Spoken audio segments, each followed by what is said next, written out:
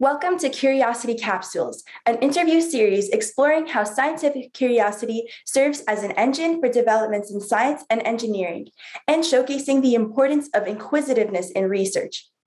For today's capsule, we are honored to be joined by Dr. Sara Nunes de Vasconcelos, a scientist in the Division of Experimental Therapeutics at the University Health Network and an associate professor at the Institute of Biomedical Engineering at the University of Toronto. The focus of Dr. Nunes de Vasconcelos' research program is the generation of alternative therapeutic avenues to treat cardiovascular diseases. Dr. Nunes de Vasconcelos, thank you so much for joining us for today's Curiosity Capsule. Thank you so much for having me, Ana. This is really a pleasure. Dr. Nunes de Vasconcelos, as one of Canada's leading researchers in cardiovascular development and regeneration, your work has had a transformative impact on the research landscape in regenerative medicine.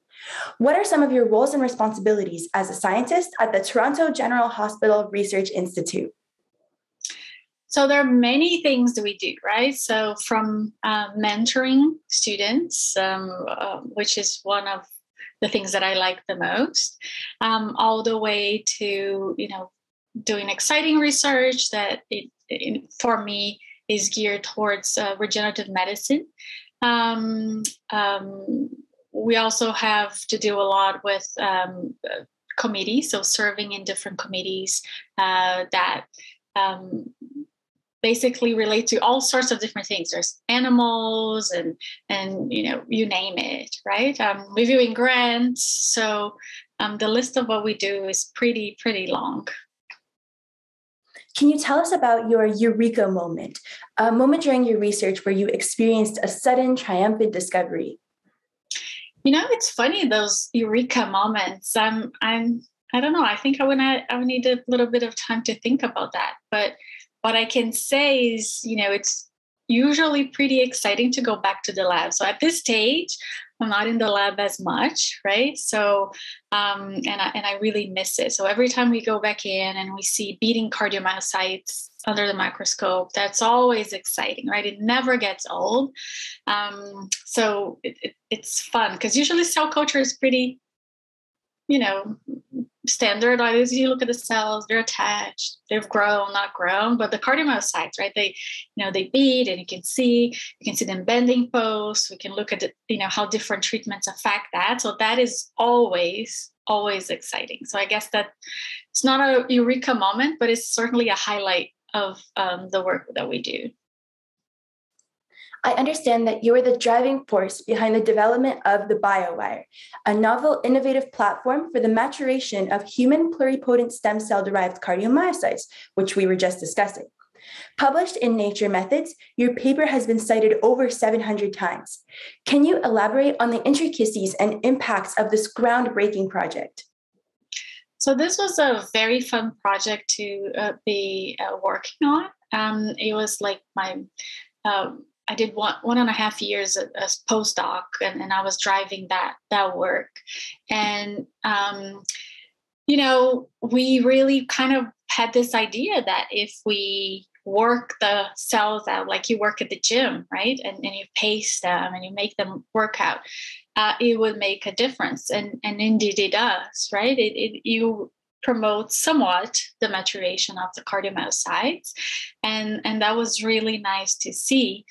Um, after that that's a lot of different um, groups have contributed to that field in terms of you know investigating different cues that contribute to the maturation of these uh, these cells.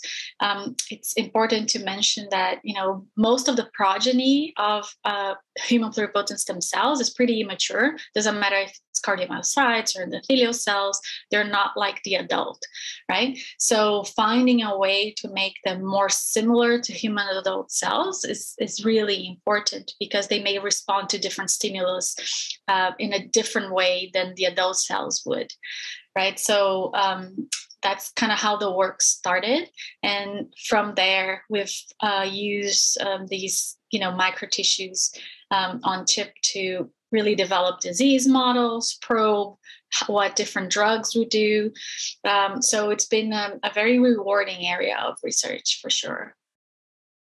Uh, your interdisciplinary research combines stem cells, tissue engineering, microvascular regeneration and biology, organ regeneration, and organs on chip technology. Can you tell us about the ultimate goal of your research? So, what we would love to have happen is to be able to push and develop new treatments uh, that would be used in the clinic, right?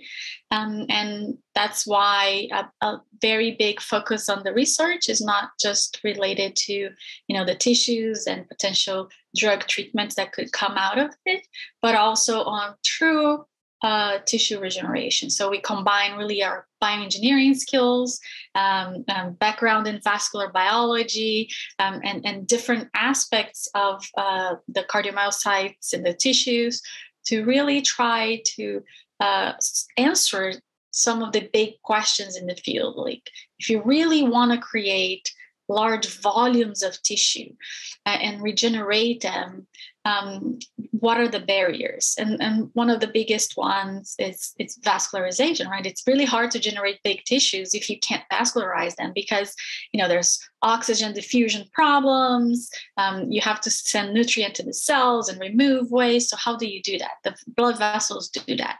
So that's one of the biggest challenges uh, that we are uh, trying to address in the lab. And hopefully as we progress um, we'll get to see some of those reach the clinic. Speaking of challenges, in your opinion, what are some of the greatest barriers and limitations of scientific research, and how can we overcome them? Oh, in scientific research in general, or my area, or you know, as a scientist, um, I guess as, in your experience as a scientist and um, how you've interacted with the scientific field, um, how what kinds of challenges have you had to overcome?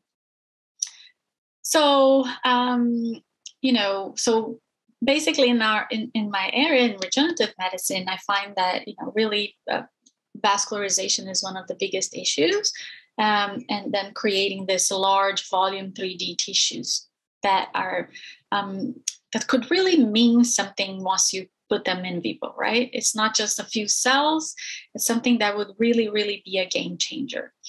Um, as, a, as a researcher, uh, I mean, the pandemic was uh, insane, so it has kind of brought out and um, really, you know, brought to surface some of the issues that we already faced before, but it got um, much much worse during the pandemic right? So um, particularly in the case of women in science you know having to deal with school closures and being a primary caregiver and having a flexible job that always gets you the kid right? So school closes oh you have to watch the kid. Or you know um, even when you have a, a, a partner that's completely committed right? It's just those are the limitations.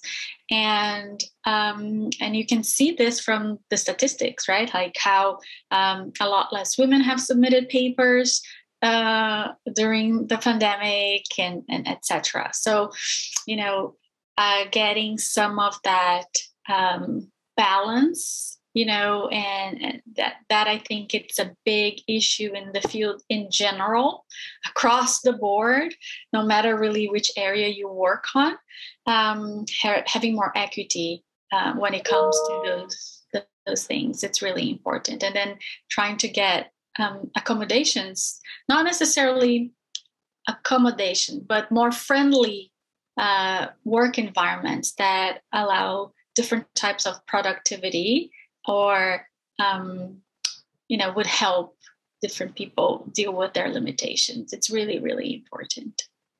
Thank you so much for sharing your experience.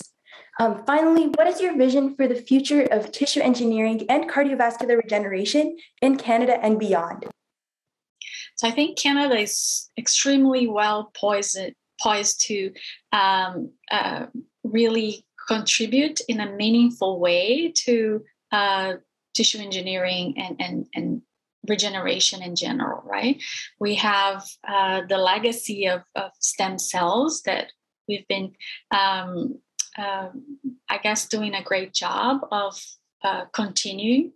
And um, um, I think um, it's it's a bright future. You know, we need more support. We need more funding, particularly for um, you know project grants within CIHR instead of those boutique type of uh, funding schemes, right? That are usually so tailored and so limiting. Um, but I think you know uh, we we are already doing our part, and um, it, it, I can see a bright future Thank you so much for joining us today. On behalf of our director, Dr. Emilio Alarcon, and the whole BEaTS Research Radio team, we thank you all for tuning in. BEaTS Radio is supported by the University of Ottawa Heart Institute, the BEaTS Laboratory, and the Department of Biochemistry, Microbiology, and Immunology at the University of Ottawa. Don't forget to follow our Twitter, Instagram, and YouTube platforms to stay in the loop of our latest uploads.